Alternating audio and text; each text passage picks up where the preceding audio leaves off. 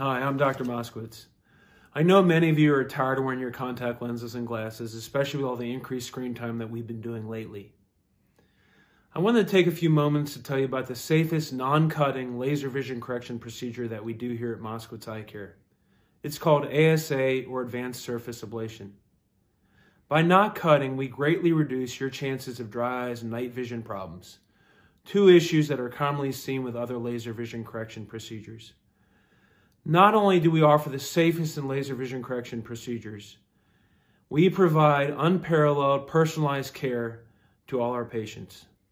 I see you from your initial consultation through the day of your graduation. I don't co-manage you with any other provider, any other optometrist, any fellow, or any other doctor. So if you're interested in getting out of your contact lenses and glasses, give us a call at 212-475-9797 and schedule your free consultation.